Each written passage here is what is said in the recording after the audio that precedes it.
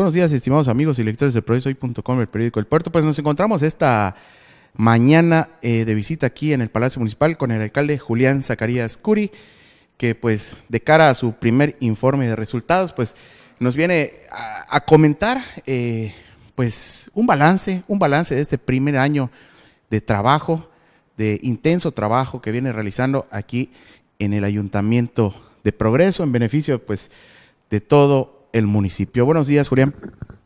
¿Qué tal, Oscar? Buenos días, ¿cómo estás? Muchas gracias. Este, alcalde, un balance de, pues, de, lo que has venido haciendo desde el inicio de esta administración, ya cumpliendo un año de trabajo. Pues mira, Oscar, lo más importante es que iniciamos organizando todos los temas que estaban pendientes en el municipio. Dio mucho trabajo el arranque, es, recordar y considerar que cuando iniciamos hace un año los vehículos para dar servicios públicos ni siquiera arrancaban, los vehículos de la policía todos estaban en mal estado y eran muy pocas unidades. Y en temas de agua potable teníamos agua una semana y todo el mes, el resto del mes no las cortaba el suministro eléctrico por falta de pagos a CFE. Y pues gracias a Dios, con, con mucho esfuerzo hemos estado haciendo mantenimiento con respecto a SMAPAP, mantenimiento a diferentes tuberías, bombas, habilitándolas. En el informe les puede dar un panorama más amplio de todo lo que se ha hecho al respecto. No hemos tenido un solo corte al suministro eléctrico, lo cual quiere decir que las finanzas perfectamente daban para, para poder mantener este tema y, pues estamos trabajando con mucho orden para, para sacar adelante al municipio que tiene muchísimas necesidades, muchísimas carencias como todos los municipios, pero estamos de nuestra parte haciendo todo lo posible por, por mitigarlas. ¿Cómo se siente Julián Zacarías en este primer año de trabajo? En tu persona, en tu personal, ¿te sientes satisfecho de lo que estás logrando? Mira, me siento contento, Oscar, contento con el equipo de trabajo, gente que se ha involucrado, muchas personas que ha sido su primera ocasión que participaron en, política y entendieron este, que están para servir y dando su, su mejor esfuerzo. Yo creo que esa es la parte fundamental de que hoy el municipio está avanzando, la mayoría de las direcciones son, son gente nueva, gente que, que quiere demostrar que puede sacar adelante a Progreso, porque todo esto no es solo Julián Zacarías, hay un equipo atrás de esto que son 1.400 personas, muchos pues son inclusive las personas que se pasan barriendo desde las 5, 4 de la mañana, que mientras nosotros descansamos, lo único que queremos es despertarnos y ver Progreso limpio. Toda mi, mi, admiración y, valor para, para, el trabajo de estas personas y, y, te digo, yo creo que lo más importante es la, la, comunicación que he tenido con ellos, muestra de eso es todo el apoyo que han tenido los diferentes sindicatos con un servidor, la foto que tuvimos hace un par de días con, con todo el grupo de trabajo, te puedo decir que la, la, gente está contenta en la administración, se ha apoyado también a, a las familias de los policías, hemos buscado cómo darles becas y diferentes apoyos, se han incrementado los sueldos cuando nunca nadie lo hizo. En fin, como te digo, estamos buscando de qué manera mitigar, entendemos la situación del municipio, que iremos poder ayudar a más personas, pero definitivamente el arranque fue muy complicado. Estaba prácticamente toda la maquinaria parada, con rezagos, con deudas y hoy te puedo decir que después de un año contento con lo que se ha logrado, y estoy seguro que para el 2020 y el resto de este año vienen cosas mejores porque ya no estamos arrancando de cero. Hoy la maquinaria ya está engrasada, hoy todo está engranando y estoy seguro que les voy a entregar la, la mejor versión de progreso. Sé que tenemos muchas carencias y necesidades aún en temas de bacheo, por ejemplo. Y un día se los dije, mi compromiso era poder entregar una ciudad sin baches y todos los días los leo, todos los días recibo sus diferentes reportes y quiero que sepan que no vamos a parar hasta que la ciudad no tenga baches y ese día lo voy a anunciar. Hoy ya, ya, avanzamos como 9.000 metros cuadrados, nos hace falta, nos hace falta bastante en Flamboyanes, no quiere decir que no se vaya a hacer mi compromiso es con todos y para todos y se va a hacer. Vamos a terminar con Flamboyanes, vamos a terminar con Xuxulú, vamos a terminar con todo progreso. Y el día que eso suceda, lo voy a anunciar que yo estoy seguro que de este año no va a pasar. Por otro tema, la recuperación Si te parece que vaya... Sí, yo te quiero preguntar algo. ¿Cuáles son los tres temas más relevantes o, tus tres logros más importantes en este primer año de trabajo? Bueno, el primero definitivamente es que hoy toda la maquinaria del ayuntamiento, incluyendo capital humano, esté funcionando para servicio de la comunidad.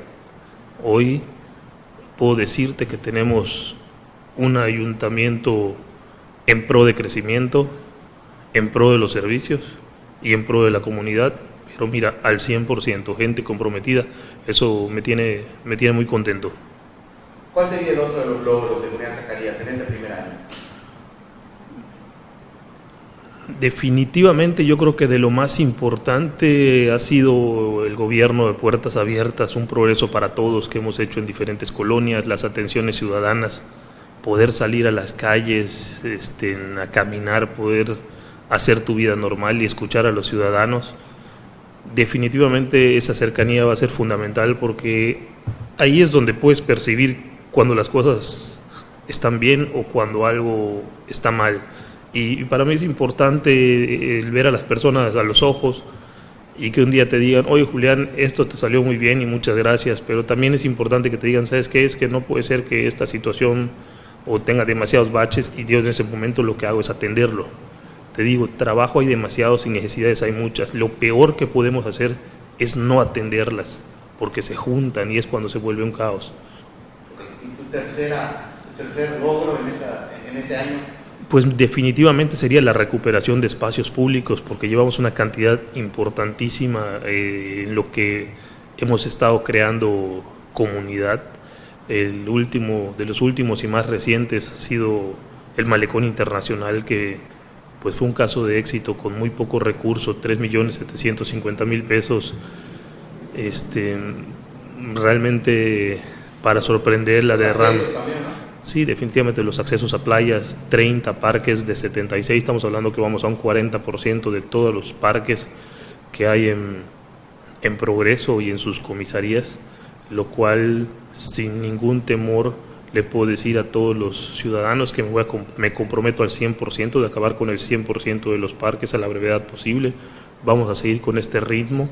En un año, cuando, cuando en un año me toca recibir una administración sin ningún peso, ni para sueldos, ni para aguinaldos, ni para luz, ni para maquinaria, ni para absolutamente nada, pues no sabes hacia dónde vas dirigido, pero cuando empieza poco a poco la ciudadanía también empezar a confiar en la administración y empiezan a tributar y a empezar a hacer sus pagos puntuales, todo eso empieza también a activar la economía del municipio y eso es lo que nos permitió activar todos estos espacios públicos. Entonces, si te puedo decir que fue un arranque lento y terminamos reparando 30, por así decirte, más cuatro muelles, porque el día jueves entrego el muelle de Chuburná, ya entregué el muelle de Shupshulup, ya entregué el muelle de Chelem, muellecito pintoresco que estaba en total abandono por muchos años, que no es el muelle que se merece Chelem, no es el muelle que necesita, como el de Shupshulup, como el de Progreso, como el de Chuburná, pero sin embargo es un muellecito que les va a servir para que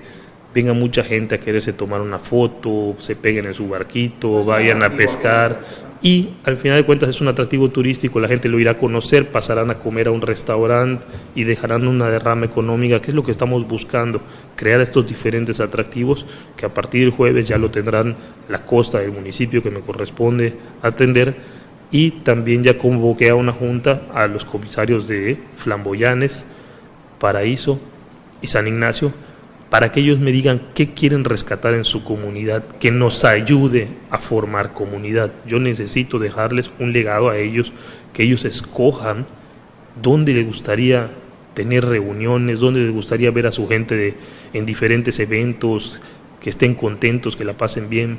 Entonces ya el director de obras tuvo una reunión con ellos, les pedí que les dejen dos opciones y pasando el informe ya nos vamos a, a poner a atender estos, diferentes temas. Entonces, sí, definitivamente la recuperación de espacios públicos ha sido fundamental porque todos estos espacios se recuperan con limpieza, con seguridad, con iluminación y con transparencia.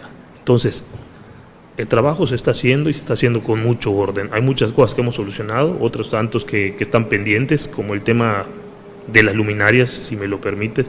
El tema de las luminarias es, es un tema complicado, nos deja la administración anterior un contrato absurdo, amañado, con una empresa, una empresa creada y, y, con toda la alevosía del mundo, este, con un servicio pésimo que no, que no le daban al municipio. Entonces, sí decir que en todo este año no le he pagado un peso a la empresa porque no tengo por qué pagarle algo que no funciona, ¿no?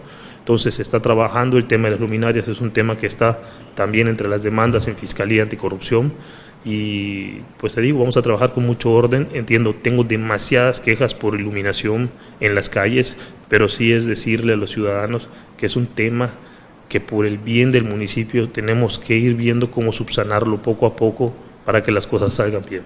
Mi compromiso es entregarles un municipio iluminado, pero con unas finanzas sanas. Entonces eso es lo que estamos buscando. No es nada más pagar por pagar, no es nada más seguir algo que nos dejaron que simplemente no tenía ni pies ni cabeza. Entonces son temas que aún nos quedan pendientes por organizar y se está haciendo. ¿Qué pensó Julián Zacarías haciendo este recuento del primer año cuando llegas al, ayuntamiento y dices, bueno, empiezas a ver que todo está desmoronado prácticamente. ¿Qué pensaste en ese momento y qué piensas hoy un año después? Mira, en ese momento, cuando llego y no había dinero ni para los sueldos, ni para la luz, ni para los aguinaldos que estaban inmediatos y para el, que fue la toma de protesta, el evento del grito, o sea, entras y ya son gastos y la nómina normal, ¿no? Pues sí, mi cabeza era cómo, se, cómo sales de este tema a la brevedad, porque tienes gastos encima, ¿no? Entonces, pues con diferentes estrategias para, para lograr captar recursos de las diferentes licencias prediales, pagos que quedaban pendientes y todo. Bueno, la cosa es que terminamos saliendo al respecto con esto, pero un año después de estar aquí atender todo lo que se atendió, gestionar todo lo que se gestionó, pues realmente me queda un sabor de boca satisfactorio, definitivamente para bien. Y pues entonces yo me pregunto en este momento, ¿qué hacían los alcaldes anteriores? Porque no puede ser que no hayan hecho nunca nada. Entonces, realmente bien organizado, puedes hacer muchas cosas, se han entregado, ustedes las han visto, pero yo creo que lo que más me sorprende hoy, a un año de mi administración, es por qué nunca se hizo nada. Y pues vamos a seguir trabajando con mucho orden. Lo que le pido a todos es paciencia y viene lo mejor para progreso. Ok, Julián, en cuanto al, tema precisamente, este, continúa la, la, política del actual ayuntamiento de, de ver que haya castigo que, se les finque responsabilidades a las autoridades anteriores, que no hicieron nada por eso. Mira, como te dije, Oscar, en alguna ocasión, y lo he comentado, cuando entro a la administración, la, la, parte que nos correspondía es hacer todas las observaciones que no nos parecieran o lo que no encontrábamos o lo que simplemente o no estaba o parecía sospechoso de una otra forma, se, se mandan todas las observaciones a las autoridades correspondientes, algunas las tiene ASEI, otras las tiene Fiscalía Anticorrupción, y yo no te puedo señalar culpables, lo que señalamos es diferentes situaciones que para mí representaban anomalías, pero dejemos que las autoridades trabajen, ellos están desarrollando todo lo que toda la información que tienen que nosotros entregamos, nosotros cumplimos en tiempo y forma, entonces yo lo único que puedo hacer es un llamado a las autoridades para que atiendan el tema específico de progreso que, lesionó mucho a los ciudadanos y, y, lo que uno menos quiere es que, que al ciudadano se le olvide muy, muy, muy fácil las cosas cuando tres, tres años tuvimos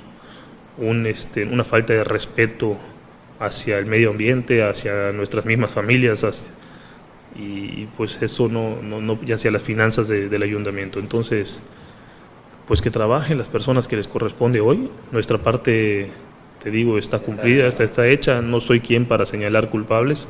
Yo lo único que señalé son observaciones y, y mi administración siempre seré propositivo y lo que todo el día estoy haciendo en esta oficina es trabajar para construir un mejor municipio y no me estoy calentando la cabeza en cosas del pasado. ¿Qué es lo que crees, eh, Julián Zacarías, presidente municipal de Progreso, que te ha hecho falta por hacer? Eh, obviamente comentas que el tema del bacheo pues, está pendiente, se va a resolver. ¿Qué, algo que hubieras querido hacer en este primer año que no, no lo has hecho y que pues, ya lo estás programando para hacer durante el segundo y el tercero? Me gustaría que estemos en cero baches definitivamente, o sea, que el programa ya esté concluido. No vamos a poder concluirlo de aquí al informe, pero nos faltará poco realmente, tal vez nos falte un 20%. Eh, hay seis cuadrillas trabajando que también se van a trasladar a las diferentes comisarías y este mm, es un, un programa que me gustaría haber este, acabado. Me gustaría haber dejado muy claro el tema de la iluminación. Hay un tema, puesto que les, les, les comuniqué hace un ratito, hay un tema que todavía está pendiente con el tema de iluminación, no quiere decir que no lo esté viendo, también lo están atendiendo profesionales y pronto sé que vamos a salir adelante de esto. Y pues te digo, muy contento. Quisiera uno definitivamente poder ir más rápido lo que hicimos es lo que nos permiten las finanzas que fueron relativamente históricas y muy buenas para el municipio de Progreso. Tuvimos una recaudación como de 71 millones de pesos, récord, que todo esto fue meramente obras y servicios públicos. Tenemos gente comprometida y eso es algo que, que me gusta mucho. Y en ese sentido, este, la federación no, no ha enviado recursos a los ayuntamientos. Es importante decirte que es importante decirte que tampoco podemos avanzar más rápido. Nosotros ya cumplimos un año, pero este año toda la obra que se ha hecho ha sido con recurso municipal. Absolutamente todo ha sido recurso municipal. el gobierno del estado está empezando a ejecutar ahorita con la Casa de la Cultura los casi 60 millones de pesos de, de la Secretaría de Fomento Turístico que ofrecieron muy al principio de la administración, pero pero están empezando ahorita cuando nosotros ya cumplimos un año y vamos a ver una mejora muy importante en el municipio gracias a esa inversión en las zonas donde se va a atender. Luego el día 3 de septiembre viajo a la Ciudad de México junto con el gobernador para que firmemos junto con UNAM y SEDATU los acuerdos para lo que ofreció el presidente de la República, que son estos 500 millones de pesos para ejecutar en el 2020. Entonces, lo que estamos haciendo no es solo dar una mejor cara a Progreso hoy, sino que también lo estamos organizando para, para poder recibir esa infraestructura que tanta falta nos ha, nos ha hecho por años y es momento de capitalizarla. Como les digo, el 3 de septiembre estaré en Ciudad de México con esta firma para poder ya empezar los acuerdos correspondientes y trabajos para, para las mejoras de progreso a principios de año. Anoche precisamente el gobernador hizo ese anuncio de las inversiones que vienen, ya precisó un poquito más y también anunció un importante apoyo para Progreso, que pues por vez primera el gobierno del Estado se fija en Progreso, va a haber un, un donativo, una entrega de equipamiento por 12 millones de pesos, explícanos un poquito de eso.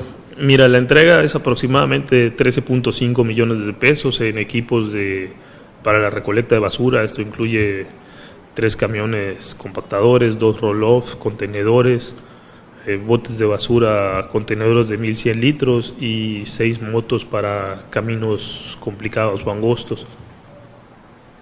Vamos a estar trabajando con mucho orden para poder sacar a Progreso adelante.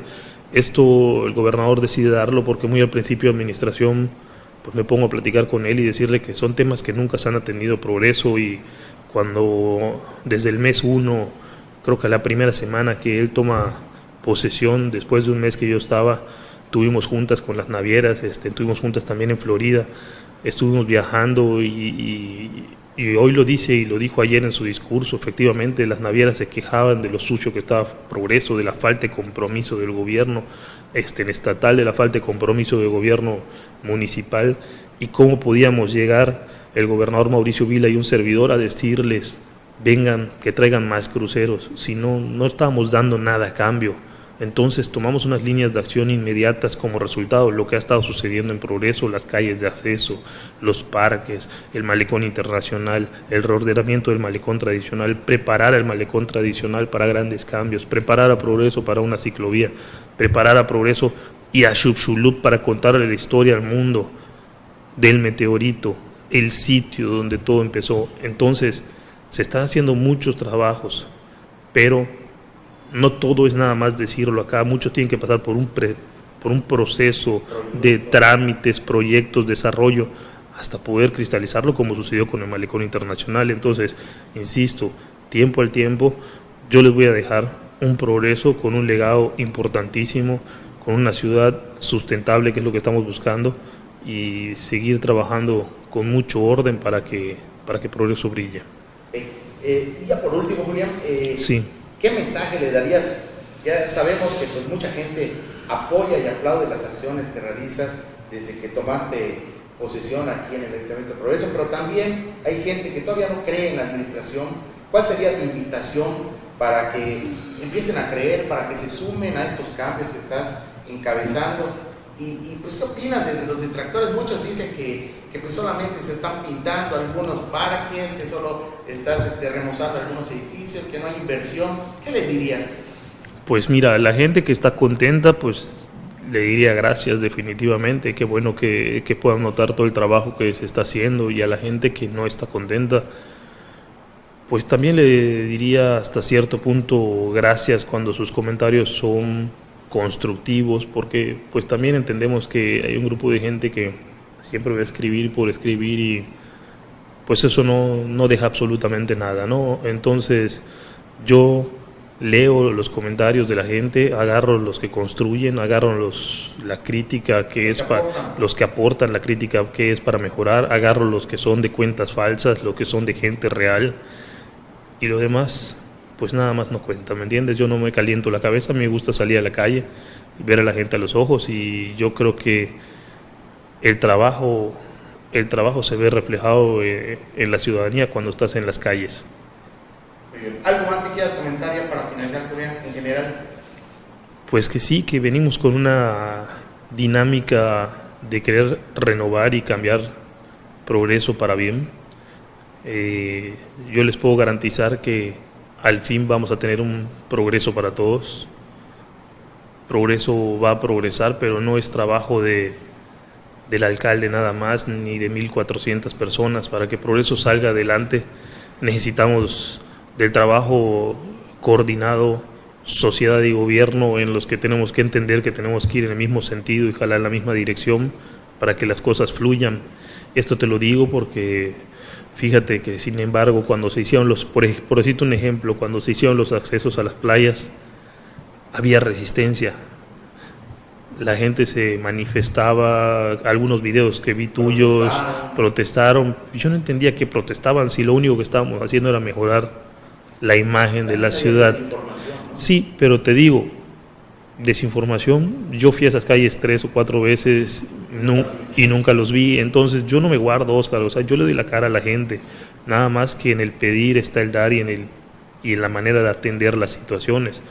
Yo de eso nunca me enteré. Luego el tema del malecón, cuando estaba yo desayunando en Crafters con las autoridades, que casualmente las autoridades que estábamos son, eran Profepa, Semarnal, la Secretaría de Salud, Seduma, estábamos hablando de cómo vamos a regular el tema del malecón tradicional y también aprovecho el momento que si queremos que el malecón tradicional sea un caso de éxito como fue el malecón internacional, pues necesitamos definitivamente todos unirnos, todos sumar, porque en cualquier momento esta remodelación y estos trabajos van a llegar y van a llegar los momentos en los que haya que apretar a los concesionarios porque necesitamos regular todo.